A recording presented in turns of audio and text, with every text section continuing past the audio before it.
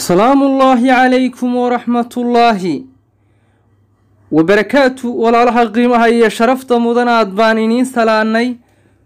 Wakhti wacan iyo nolol fiican baan iniin rajaynaynaa ku soo dhowaada kanaalkeennan caafimaadka ee dhegtarka caafimaadka qoyska. Iyo kilibkan aynu ku eegayna qaabkaad ula tiriid garaynayso. Qofka kugu cadowgaa ee dhuuxa iyo lafta kaa neceb ee necab mustaqbalkaaga horumarkaaga noloshaada sharaftaada iyo diintaada. Kula necab wanaag adduunyo oo dhan iyo wanaag aakhiro. Qofka noocaasa sidaad qalbigiisa ugu ciyaari lahayd ee aada uga aargoosan lahayd ama aada meel xun u dhigi lahayd ayaynu doonaynaa inaynu runtii kilibkeenna ku sheegno. Inaad qofka cadaawadda noocaasa kuu haya ee naftaada iyo noloshaadaba dhibta la jecel inaad ogsoonaato waa muhiim. Qaabkaad ula dhaqmaysa inaynu isku isxasuusinaano waa muhiim. Qof adduunyada ku dulnool oo aan lahayn cadow iyo nacab iyo dad markaa dhibaataynaya ama hadimo gaadhsiinaya ama inta badan u walaaqaya xakabo iyo biro aanu ka gudbin u dhigayaa way badan yihiin waana qof kasta oo ka mida inaga mida bulshadeenna waa uu leeyahay.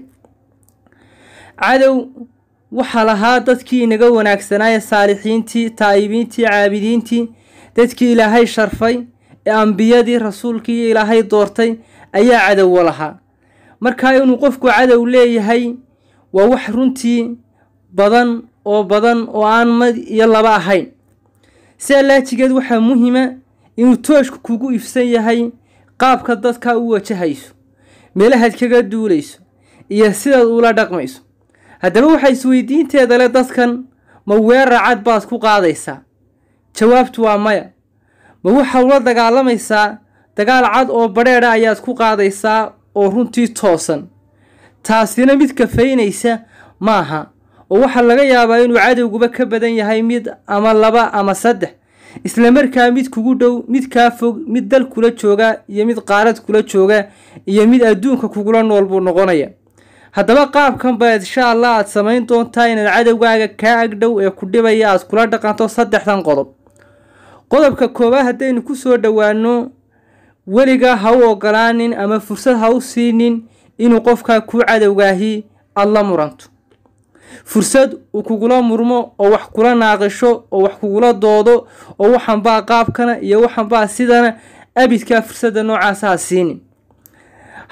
Haddaad siiso fursad uu kugula doodo oo uu kugula murmo oo markaas wixii uu kaaga baahnaa iyo waxa uu kula doonayey ay afkiisa ka soo baxaan oo uu kugu yidhaahdo markaa jaanis aada u ballaadhan baad siisay isagana guul bay u noqonaysaa isagu waa inta uu kaa doonay.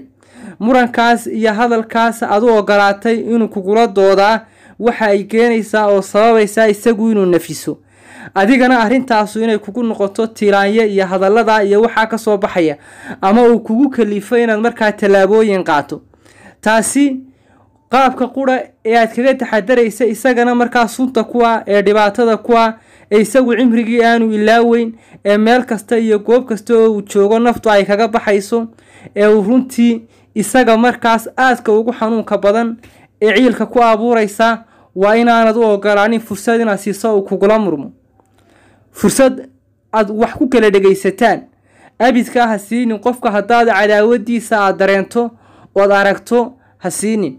Waa ta waa jaaniska qura ee uu raadinayo qofkaas inaad dub ugu laabato oo arrintaas iyo waxa uu kaa doonaya aad kula muranto. Waana halka doonayo inuu markaa niyadjabka iyo iritatin uu kugu sameeyo oo kaa cadhaysiiyo oo ciil kugu abuuro oo dhibaato kugu abuuro. Qaabka markaa aanad ula doodaynin waxaa kowkaa inaad markaas eeriyada iyo goobaha uu joogo aad markaas cagtaadu ay ku yaraato. Isla markaa marka ama xiliyada ay kaa hor yimaadaan ama aada meel ku kulantaan inaad si mubaaxa oo caadiya oo aanad markaa adigu xanuun iyo dhibaato aanad muujisanayn iyo cafis inaad adigu markaa aad ku muujiso. Arinta arrimaha caadiga ah ee nolosha qof noloshiisii kala wato oo arrimihiisii isku dubaridanaya aatay isaga xanaf bay ku abuureysaa ciil bay ku abuureysaa tilaanyo iyo murugo ballaadhan bay ku abuureysaa waxay ku keenaysaa marka dambe qofkaasu inuu dhulka u dhaco oo dhibaatoodo oo ciiloodo oo mashkilad badani ku abuurto. Laakiin fursadda haddaad u ogolaato waxa uu dadakhul ku samaynayaa ama uu dhex gelayaa maskaxdaada. Maskaxdaada hadduu dhex galana fikir badan buu kugu abuurayaa walwal badan buu kugu abuurayaa su'aalo badan baa isweydiinaysaa sidaad go'aan uga qaadan lahayd waxyaabo badan baa maskaxda runtii jaanis buu ku helayaa ay maskaxdaadu isaga ku mashquusho. Muranka aada la murantaa ama runtii aada dood wada yeelataan waxay kugu abuureysaa adigana sidoo kale inaad xiliyada qaar waxyaabaha inaad u jawaabto. Jawaabaha aada bixinayso isagu daway u tahay. Murankanuu kula hadlayaa isaga daway u tahay. Waayo isagu waa qof nic xasad iyo xumaan ayaa qalbigiisa ku jira. Inuu ku cabudhnaado aan waxaa laga furin ayaa u muhiimahoo afka ay kaga tollaato laakiin haddaad ka sii dayso waxay noqonaysaa dhibaato psychologically adiga ha dhowto kugu soo urureysa oo dhibaata ay kugu ahaanaysaa isagana waxay ku ahaanaysaa nafis iyo inuu nafiso iyo wixii uu baahnaa iyo ujeedkii iyo qasdigii uu kaa lahaa inuu gaadho oo guul bay u tahy arrinta cimriga nolosha abidka ha ka ogolaanin oo fursadda noocaasa ha u soo bandhigin oo ha siinin. Waa meesha qura iyo jaaniska qura ee uu ka soo duuli karo ee noloshaada uu ka soo weerari karo ee uu ka soo duuli karo mustaqbalkaaga uu xayndaab gelin karo ee uu ka soo duuli karo guulahaaga iyo noloshaada farxaddeeda uu ku ahaan karo taraabin iyo markaa inuu baariyeris iyo bloog ku noqdo oo runtii uu dhibaateeyo. Arrintaa ina dhug weyn aynu u yeelanaa waa mid muhiimadeeda le oo dabcan aynu ku soo aynu aada iyo aada iyo aad aynu ugula talinayno bulshadeena karaamada iyo sharafta leh. Haddaynu qodobka labaad ee isagana aynu kula tacaalayno ee runtii qofkan cadowgaaga ee markaa dhibaatooyinka nololeed iyo qoxaha nololeed kuu daadinaya aada kula dhaqmayso isaguna wuxuu noqonayaa self improvement. Inaad horumar iyo taabagelin naftaada aad ku samaysaa waxa ay ku tahay boog iyo murugo iyo dhibaato ayay isaga ku tahay.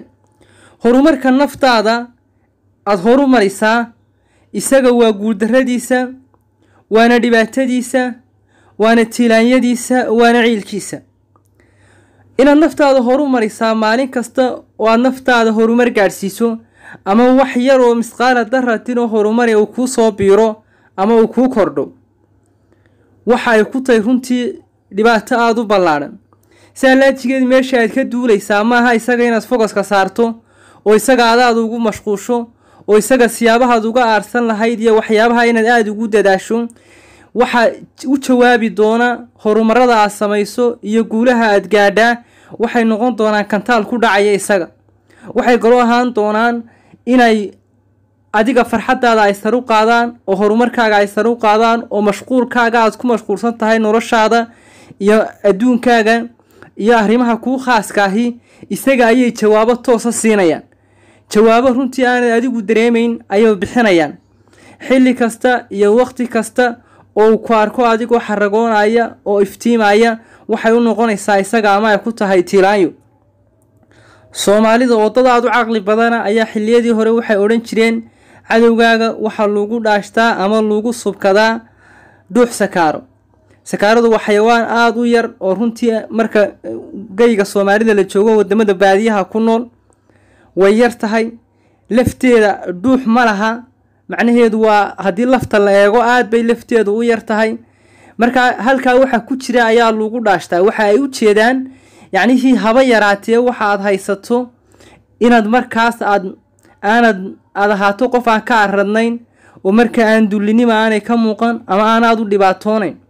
Xilli kasta oo marka aad wignesskaagu bato oo dhibaatada yacnihii noloshaada laga yaabo qofka ibni aadanka ahi waqti adag wuu qaabili karaa xaaladdu way ku adkaan kartaa. Waa laga yaabaa inay waqtigu kugu adkaado ama noloshu ay xilliyada qaar ay istaagto ama ay adkaato.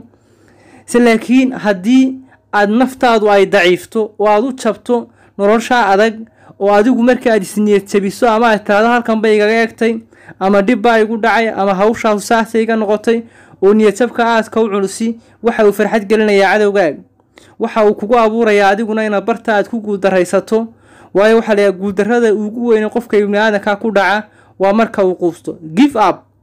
Maalinta aad istaagto give up. Aada quusato ayaad cadowgaaguna ay kaa guudaysteen noloshaadina ay isxidhay horumarkaagina uu dhammaaday.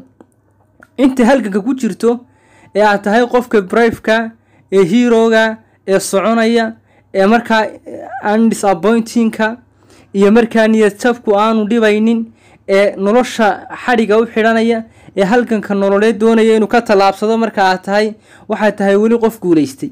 Guusha lafteedii baad ku jirtaa maadaama aad taabogelinayso noloshaada horumarkeedii mustaqbalkaagii ilaa inta aad ka dhimanayso aad tahay qof sharaf ku nool oo aan qof hoorsanayn ama aan markaas aan isdhiibayn oo aan odhanayn anigu waa guultaraystay sidaasaad ku guulaysatay sidaasaanad ku sharfan tahay. Haddaba guulaha quruxda badan iyo wanaagyada aad gaadhaysaa sidaynu tilmaamnay waxay jawaabo cadcad ku noqonayaan gantaal ay ku noqonayaan tiiraanyo ay ku noqonayaan ciil ay ku noqonayaan isla markaas isaga ay aada u dilayaan oo ay guuldarro weyn ku tahay qofkii kaa soo horjeeday ee xumaantaada mar kasta jeclaa jabkaaga mar kasta jeclaa dullinimadaada xilli kasta jeclaa noloshaada oo hooseysa xilli kasta jeclaa. Waa adiga noloshaadii saru qaaday ee self improvement samaynaya ee progress ku jira ee development ku jira ee horumar fiican higsanaya ee taabogelinaya noloshaada ee guulahaad rajaynayso doonaya inaad ka midho dhaliso ee meesha aad ku socoto doonaya inaad gaadho ee doonaya hadafyada aad leedahay iyo gooliska aad leedahay inaad xaqiijiso oo himiladaada aad ka dhabayso oo aad ka run sheegto oo markaas aad xaqiijiso arrintaasi waxay keenaysaa in runtii waad ula dhibtoodo qofkaa kale aynu tilmaamayno ee markaa hostilitiga iyo cadaawaddu ay ku fogaatay. Asal ahaan qofku inuu cadow qof kale ku noqdaa waa mid ay diinteennu xarintay oo meel aada u hooseysa ay dhigtay isla markaa ciqaab aakhirana uu ku dhacayo. Adduunyada qaabkaasi iyo tactigiskaasi iyo qeybaha haddaad kula dagaalanto waxay kuu saamixi doontaa inaad adiguna aanad dhibaatayn. Oo afkaagii waad ka ilaalisay gacantaadii waad ka ilaalisay uulamaad tegin. Laakiin naftaadii ayuunbaad horu marisay mar kastoo qof kugu cadowaad cafido. Adiga ayaa farxad helaya waayo qofka isaga caburaatan iyo cadhadanu kuu hayaa dhibta ugu faraha badan ee gaadhaysa maaha tu ku gaadhsiinayo ee waatu naftiisa gaadhsiinayo hadduu qofku cafuufan yahay oo afka qof uga tolan yahay oo calooshiisu qof kale oo caloosha ugu hayo culayska ugu badan isaguu ku dhaca. Isaga ayaa xayndaab gala isaga ayaa cidhiidhi gala isaga ayay gubtaa dhibaatadaas iyo mashkiladaas ayaa ku habsata. Qodobka saddexaad aynu kiliibkana doonayno inaynu ku soo afmeernaad cadowgaaga kula dagaalamaysaa waxa weeyaan waa happiness farxad. Xilli kasta haddaad ahaato qof maansoonaya oo farxad ku nool oo dhoollacadayn ku nool mar allaale iyo marka ku arka cadowgaagu adigoo faraxsan.